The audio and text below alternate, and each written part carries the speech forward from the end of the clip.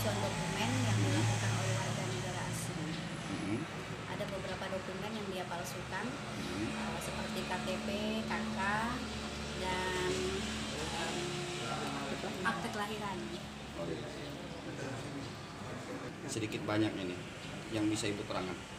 Em, menurut saya ini sudah sangat-sangat jelas Mhm. bahwa memang eh, itu warga negara asing melakukan pemalsuan dokumen. Nah, karena kita juga selalu koordinasi dengan pihak imigrasi.